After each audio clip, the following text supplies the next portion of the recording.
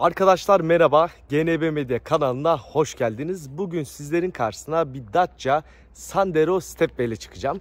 Bu otomobilin özelliği şu arkadaşlar. Uygun maliyetli bir B SUV alıyorsunuz. Turbo beslemeli CVT şanzıman sizlere sunuyor.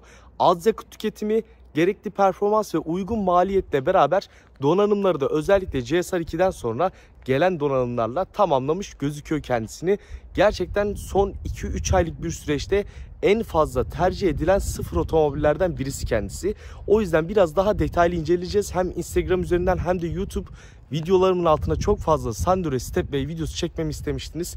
Evet gün bugün detaylı inceleme videosu yapacağız arkadaşlar. Hadi gelin Sandero Stepway'i yakından inceleyelim. Ancak siz halen daha lütfen kanalıma abone değilseniz bir abone olup videomu da beğenirseniz beni çok mutlu edersiniz. Gelin Stepway'i yakından inceleyelim. Karşınızda Sandero Stepway ve Extreme donanım versiyonu. Hemen Extreme'in dışarıdan baktığınızda anlayacağınız en önemli özelliği bu siyah alüminyum alaşımlı aslında 5 kollu gibi ama uçlarından ayrılan 10 kollu jantlarıyla beraber geliyor olması. Yani siyah bir ekstrem siyah jantlı bir Sandero görürseniz yüksek ihtimalle bu ekstrem donanım versiyonu olacaktır. Diğer farklılık ise bu aynaların arkasındaki ve ön tampon detaylarındaki bakır detaylar arkadaşlar. Bunlar sadece ekstrem donanım versiyonuyla bizlerin karşısına çıkıyor. Gerçekten dolu dolu olan bir otomobil. Şu anda sadece Expression ve Extreme donanım versiyonları ile geliyor. Aslında detaylar indiğinizde çok aman aman farklar yok. Yani Expression'da Extreme'in farkı Expression'da 16 inç jant kapakları gelmesi. Bunda 16 alüminyum. Koltuk kumaşları farklı. Ve onun haricinde aynaların arkasındaki bakır detaylar arkadaşlar.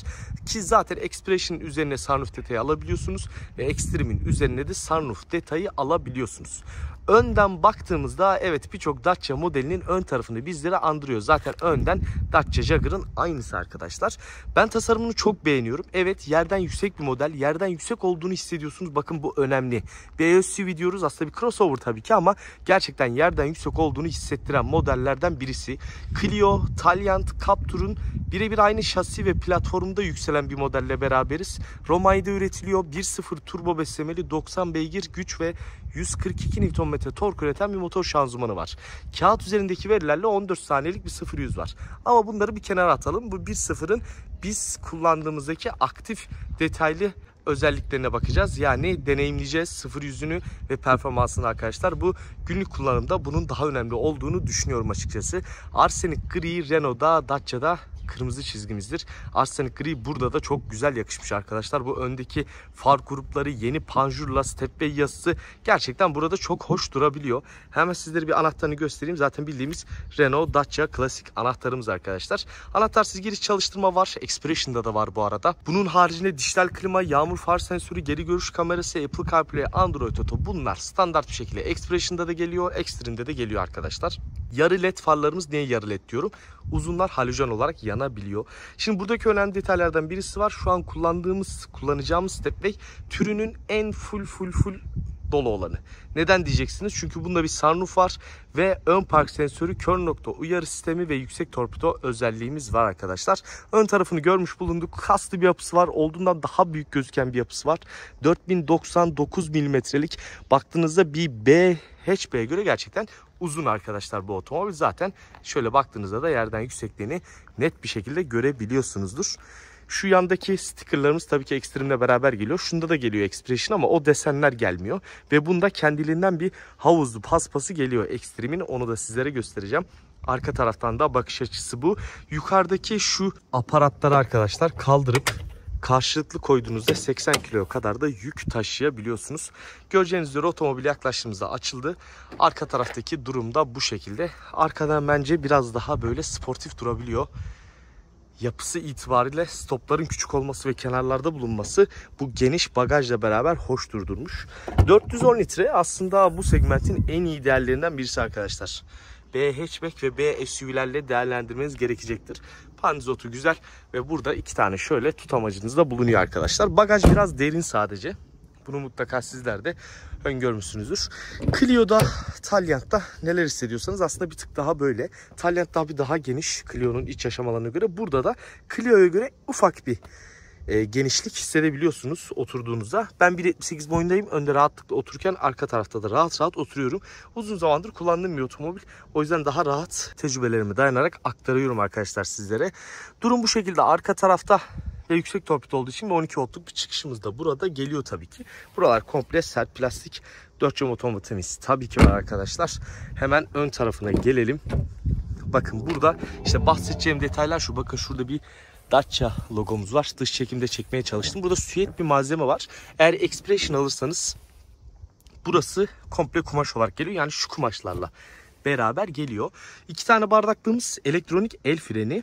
Sunroof'umuzun tuşu. Elektronik el freni de yine e, konfor paketiyle geliyor. Bakın yüksek torpido. İç tarafta bu şekilde. Bunu zaten detaylı bir şekilde sürüşte sizlere gösteriyor olacağım. Bakın bu havuzlu paspaslarımızın detayları bunlar. Böyle Dacia logolu çok özel hissettiren bir paspas bence gayet hoşuma gitti. Yine burada zaten bakır detaylarımız ilk Bokasan'ın çıktığından itibaren burada bizlere sunuluyor. Bu otomobilimizde GSR 2 yok ama GSR 2'de çarpışma önleyici ve şerit takip sisteminin geldiğini sizlere söyleyebilirim. Şu andaki aktif satılan stepway'lerin hepsi GSR 2 olarak satılıyor arkadaşlar. Bu detayda önemli. Tek eksik, tek eksik buradaki bence ufak da olsa bir hayalet ekran mutlaka bir sonraki versiyonlarında zaten Clio'da artık yeni Megane'da bile Jaguar'daki o kısa multimedyanın aynısını koyacaklarını düşünüyorum. Evet arkadaşlar iç dış tasarım böyleydi. Artık bileceğiniz üzere bunlar çok hani birçok videosu olduğu için bunları belki atlıyorum. Çünkü ben de çektim Stepway'i sizlere. Bakın eski Stepway'ler buradan ağız tunuyla beraber açılırdı. Direkle beraber artık bu şekilde açılması da gayet hoş bir detaydır. Evet dış iç detayları böyleydi. Hadi, hadi gelin artık Sandero Stepway'in sürüşüne geçelim ve bakalım 1.0 turbo motoruyla bizlere neler hissettiriyor ama lütfen yorumlarda sizler de bu uygun maliyetli fiyatıyla lütfen tasarımını aşağıda yorumlara belirtirseniz çok sevinirim. Size neler çağrıştırıyor ve yine sürüşü de sizler için mutlaka en önemli detaylardan birisi. O yüzden sürüşü biraz daha detaylı tutacağım. Tekrardan hoş geldiniz. Anahtarımızı göstermiştik sizlere. Anahtarımızı şöyle koyalım. Biraz ses yapıyor olacaktır sadece. Onu alacağım. Hemen camlarımızı indirelim arkadaşlar. Sizlere bu 1.0 3 silindirli motorun hemen sesini dinletmek istiyorum tartışıyorlar. Şimdi ben buraya gelene kadar tabii biraz ısıtmış oldum ama yine bakın halen daha e, ısıtılıyor ibaresi çıkıyor. Bunu çok fazla soran oluyormuş gruplarda. Burada bir mavi su simgesi yani hararet simgesi çıkıyor arkadaşlar. Bu mavi çıktığında bilin ki araç soğuk ısıtılıyor demek oluyor. Hemen şöyle çıkalım. Ben stop startı çok beğenmiyorum. O yüzden hemen kapatmak istiyorum.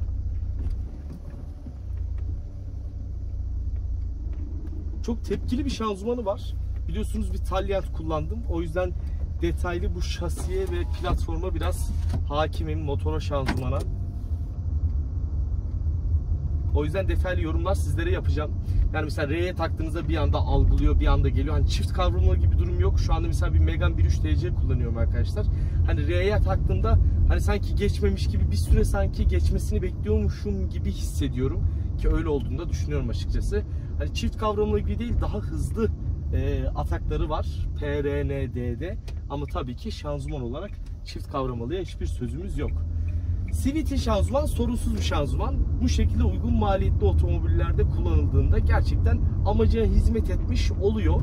Sorunsuz benim sevdiğim de bir şanzıman. Sadece biraz bağırması var tabii ki ama hani bu şekilde turbo beslemeli bir motorda kullandığınızda bunu da çok yadırgamıyorsunuz. Niye diyeceksiniz? Ben bir Toyota Corolla kullanıyordum bileceğiniz üzere. E, Toyota Corolla'mdaki CVT şanzımandı. E şimdi orada atmosferik motor olduğu zaman hani çok fazla devir çevirmesi gerekiyor. Dibe dayıyor. Hani o uğultu, elektrik süpürgesi sesini çok alıyordum. Ama bunlarda o kadar değil. Talyatta da o kadar almıyorum. Bunda da o şekilde değil. E niye değil? Aslında mantık çok basit. Turbolu olduğu için araba bir şekilde zaten yürümüş oluyor arkadaşlar. O yüzden performans anlamında CVT şanzımandan beklentileriniz neyse bunları size rahatlıkla karşılayabiliyor. Bunu öncelikle söyleyebilirim. 90 beygirlik 142 Nm tork üreten motor kağıt üzerinde aslında en performanssız bir sıfırlar arasında sayılabilir. Ama buradaki durum bu değil arkadaşlar. 160 Nm normal şartlarda manuel şanzımanlısının torku. Burada CVT ile kombin edilmesinin sebebi mutlaka buradaki devir bandı oranı, güç oranı e, ayarlandığı için 140 Nm tork CVT şanzımanla beraber sunuluyor. Ama eğer LPG'li manuel alırsanız 170 Nm torkla beraber geliyor. Şimdi kullandığınızda diğer 1.0'ları ve daha sonra bu otomobile geldiğinizde evet belki son sürat anlamında biraz eksik kalıyor olabilirsiniz. Bu aslında çoğu 90, 95, 100, 110'luk üniteler var 1.0'larda. Onlarla kıyaslıyorum muadilleri anlamında. Son süratlerde farklılık oluyor ama mesela şöyle ara hızlanmalarda bir farklılık çok göremiyorsunuz. Bu da aynı atikliği sizlere sunuyor. Mesela şu anda göreceğiniz üzere. E CVT'nin çalışması da ya şöyle güzel. Gaza bir süre sonra sizi alışıyor. Ve gaza ne kadar bastığınıza göre deviri oraya getiriyor. Bir anda deviri 5000'e de getirebiliyor. Bir anda 4000'e de getiriyor. O tamamen bastığınız gaz hissiyatına göre değişkenlik gösterebiliyor. 1200 kilo, 1197 kilo. Aslında ya bilmiyorum bu bence göreceli. Bence böyle bir otomobil için hafif sayılmayacak bir ağırlık. Neden böyle diyeceksinizdir. Uygun maliyetli yani her tarafında sert plastik olan amacı uzun ömürler bozulmadan hizmet edebilmek uygun maliyetli, gösterişli, yerden yüksek e, işte arazi şartlarına kırsal kesimlerde çok güzel ayak uydurabilecek. Tasarımı bence maskülen ve içerisinde kullanılan detaylarla eskimeyecek ama çok da kaliteli olmayan malzemelerden bezenmiş. Hani bu şekilde düşündüğünüzde ve Dacia bunu şöyle söylüyor sizlere. Aracın içerisinde kullanılan malzemelerin %70'i geri dönüştürülebilir plastik olarak adlandırılıyor. Bu önemli bir detay. Yani bunu bu şekilde düşünmeleri, buna göre e, araç üretmeleri bence önemli bir detay arkadaşlar. Güzel bir detay. Şimdi sağda solda kör nokta uyarı sistemlerimiz var. Gayet güzel çalışıyor. Dediğim gibi konfor paketiyle geliyor. Elektronik el freni, kör nokta, ön park sensörü yüksek torpido. Bunları almazsanız ve buradaki aslında cam tavan olarak geçiyor ama sunroofumuz olmasa da olur.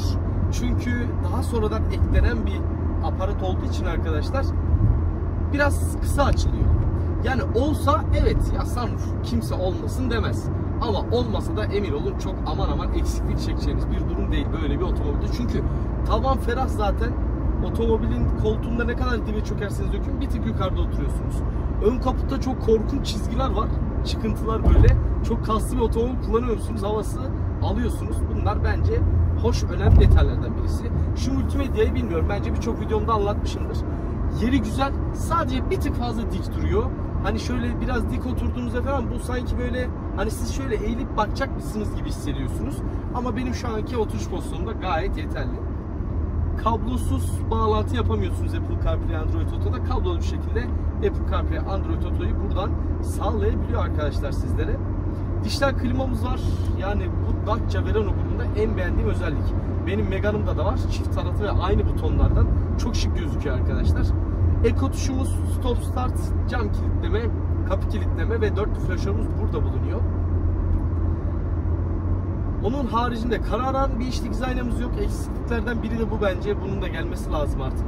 Çünkü Clio'nun en fullünde geliyor. Yani bu otomobil Clio'nun en fullünden Clio'nun orta paketiyle aynı fiyat. Hatta yine daha uygun. Yani şu anda Clio'nun önümüzde gidiyor mesela. Evolution paketi 1 milyon 208 bin liraya geliyor. Metalik renk ve yedek lastik dahil. Ama Stepway'in bu şekilde dolu. Yani bu konfor paketini saymıyorum. Ee, sunroof saymıyorum. 1 milyon 167 bin lira. Baktığınızda özellikle zaten son 2 aylık bir süreçte ciddi şekilde bir Sandero Stepway talep var. Bunu sıfır e, bayilerinden bu arada bu otomobilde Tanıto'dan temin ettik. Ankara Tanıto. Katkılarından ötürü teşekkürlerimizi sunalım. E, onlardan aldığım geri dönüş bu. Stepway'e ciddi şekilde bir talep var arkadaşlar. Ve ben de uzun zamandır bir Stepway videosu çekmemiştim. Hatta sürüş videom hiç yoktu.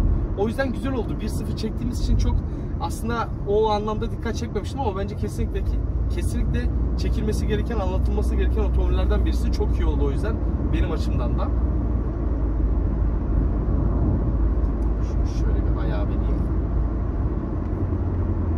Aynaları Megane aynasıyla aynı, Clio'nun aynasıyla aynı. Görüş açısı anlamında evet asunları gerçekten çok kalın. Yani mutlaka siz de görüyorsunuzdur.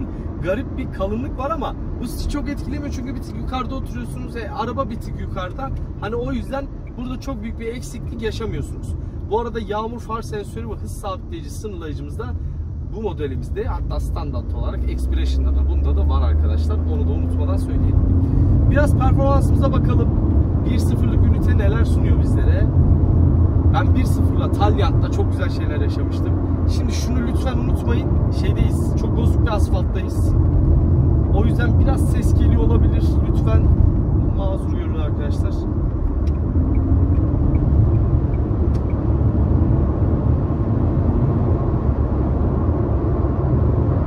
Burada yol daralacak. O yüzden burada çok bir basamıyoruz. Çalışma bitmiştir belki diyeceğim ama bitmemiş herhalde. Yol bitmiş. Yolumuz açık.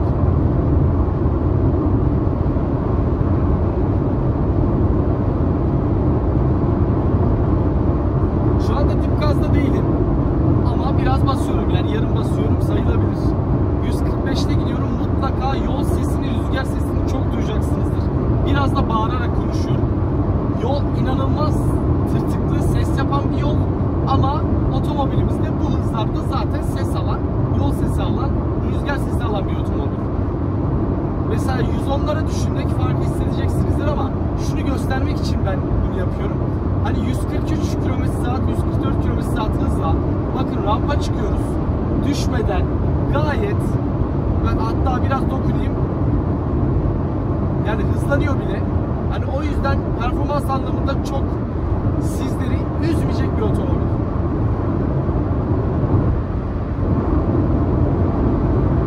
%50 olduk mesela. Rampa çıkıyoruz halen daha. Şimdi biraz düzlüğe geldik. Gazlar ayağımı çeker çekmez arabayı 2500'lü devirlere getirdi.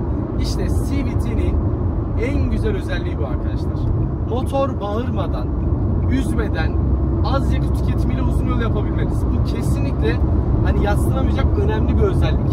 CVT sizi zaten bir kastak sistemi olduğu için, bir devir bandı olmadığı için düşebileceği maksimum devire düşüyor. Mesela şu anda 100 km saat hızda 2100 devirde. Hatta bunda daha da düşüyor aslında. Burası çok bozan bir yerdir onu söyleyeyim. Step Bey biraz bakın yatmayı seviyor ama bu grubu özellikle Clio'nun yol tutuşunu çok beğenirim. Step Bey de oradan tabii ki şase ve platformun aynı olmasından kaynaklı nasibini almış. O yüzden bunun da yol tutuşunu beğeniyorum. Gerçekten fena sayılmayacak bir yol tutuşu var arkadaşlar.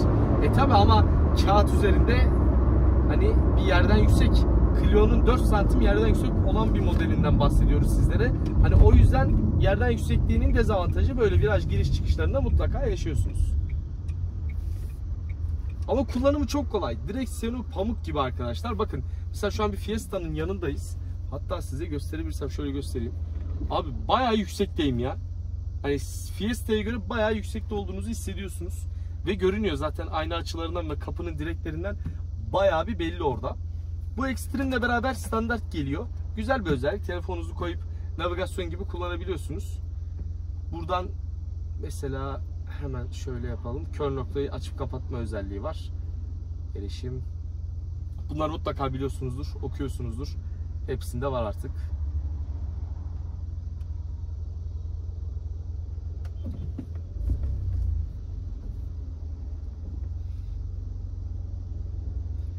Şöyle ben size yakıtı değerlerini söyleyeyim hemen.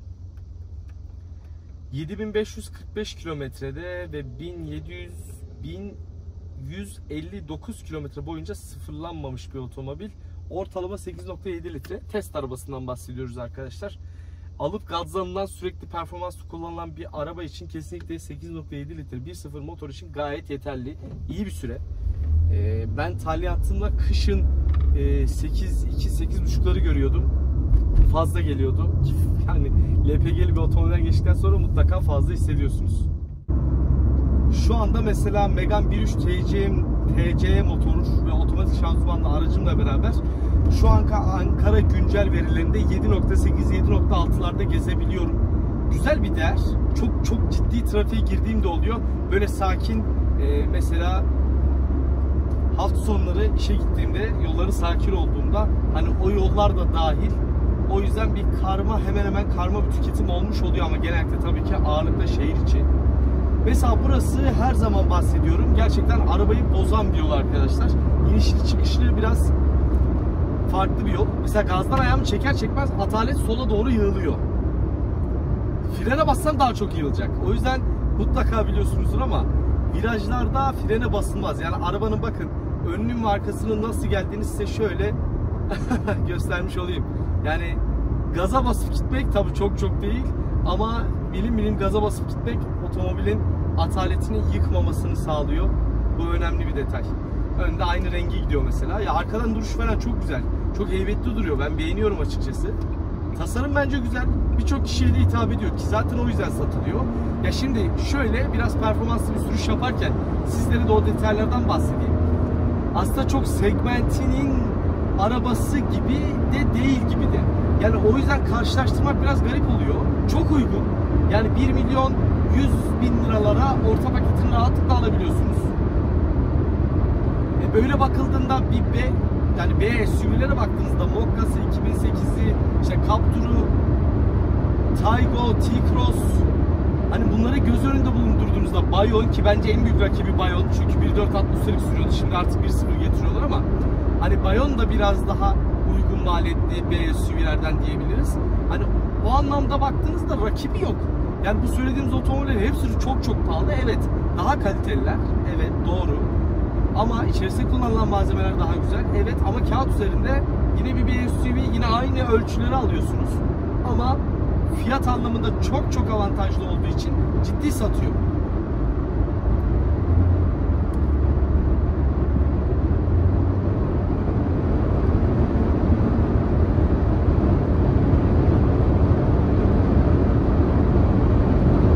Rüzgar sesi geliyor hatta sunroof'tan da geliyor biraz.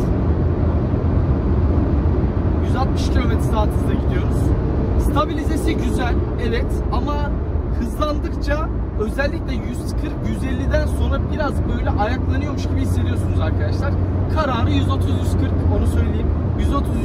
130-140 sizi hiç üzmeden, düşmeden 5 kişi ya ben 5 kişi Talyat'la 1.0 turbo motorla yani Ilgaz dağlarına öyle bir çıkmıştım ki inanılmaz hoşuma gitmişti mesela. Hani hiçbir yerde bayılma, düşme derdiniz yok özellikle atmosferik beslemeli bir motordan geçiyorsanız kesinlikle düşünmeden almanız gereken bir model arkadaşlar. Onu söyleyebilirim. Şimdi az önce bir kamerayı kapattım. Çekime bakmak için. Arkadaşlar biraz titreşim olmuş olabilir. Bu ikinci versiyonun sebebi de bu 3 silindirli motorumuz evet her 3 silindirli olduğu gibi biraz titreşimli çalışıyor. Belki bu Dacia grubu biraz daha titreşimli çalışıyor olabilir motor kulaklarından dolayı. Bu da koltukları biraz oynatıyor. O yüzden kamera biraz titremiş olabilir. İki kafalığın arasına sabitlediğim için. İnşallah çok sizi şöyle izlerken titretmesin. O önemli. Şu malzemeler bu yeni Extreme donanım versiyonuyla beraber geldi. Önceden Enfull Expression'dı bu aracın arkadaşlar. Daha öncesinde Prestige'di makyajlanmadan önce. Bu yeni logo ile beraber Expression oldu. Daha sonra Extreme geldi. Bence bu kalite algısını çok yükseltmiş. Yani şu koltuklardaki o kullanılan kumaş malzeme ve buralar bence çok kaliteli gözüküyor. Bilmiyorum siz nasıl düşünüyorsunuz ama şu katmanlı yapı burayı çok güzel gösteriyor ve kullanılan kumaş da gayet kaliteli. Biraz sanki tellettirir mi acaba diye düşündüm. Bu yeni Renault Duster'da da var. Eski Dacia Duster'da da vardı. Koltuk kumaşı. Jagger'da da var. Ya sadece hani şu direksiyon simidi 3 kollu olsa daha mı güzel olurdu acaba? Yani bu evet göbek, yazı şuralar çok güzel. Böyle satin mat krom şu parçalar güzel ama hani direksiyon bir tık 3 kollu olsa daha da iyi olabilirdi. Benim şahsi görüşüm. Lütfen sizler de yorumlarda belirtin. Sizlere detaylı bir şekilde incelemeye çalıştım arkadaşlar. Tabii ki çok pahalı. Tabii ki çok pahalı. Ne için? Arabasının pahalı. Yani arabasına göre pahalı. Ama ülkemiz şartlarına göre en uygun B SUV'lerden birisi. Alınabilesi en mantıklı B SUV'lerden birisi. O yüzden lütfen yorum yaparken ona göre yapın. Uygun maliyetli bir SUV'de beklentilerinizi karşılayabilen bir otomobil mi? Siz de bu fiyatlara alır mısınız? Lütfen bunları yazarsanız sevinirim. Çünkü şu an dediğim gibi ciddi talep gören bir otomobilmiş. Çünkü bence tasarımı çok güncel duruyor. Yakışıklı bir otomobil, kaslı gözüken bir otomobil. O yüzden neden alınmasın diyorum bu fiyatlara. İkinci elleri de gayet e, güzel, uygun fiyatlara alabiliyorsunuz. Arkadaşlar izlediğiniz için çok teşekkür ederim. Dilimin döndüğü kadar sizlere anlatmaya çalıştım. İnşallah faydalı ve güzel bir içerik olmuştur. Beğendiyseniz lütfen beğen butonuna basmayı ve bir abone olmayı unutmayalım. Allah'a emanet olun. Görüşmek üzere.